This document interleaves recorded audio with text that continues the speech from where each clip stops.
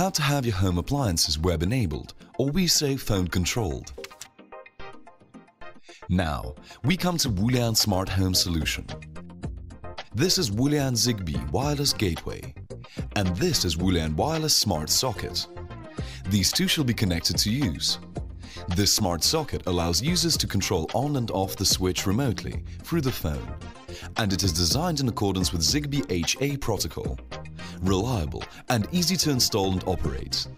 Through it, you can have TV, air conditioning, refrigerator, etc. under control with the phone at hand. Here we just take the cooker hood for example. Through the smart socket, we'll show how the hood gets controlled by the phone.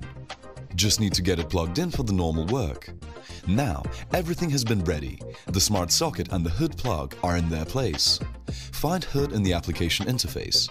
Click it, and you'll see the exhaust fan icon. Touch it, you'll see the cooker hood working immediately.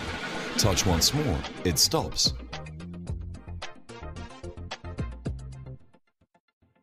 For more information, please visit www.boolean.cc. מקווה שנהנתם, אנא הצטרפו אלינו בהרצאות הבאות.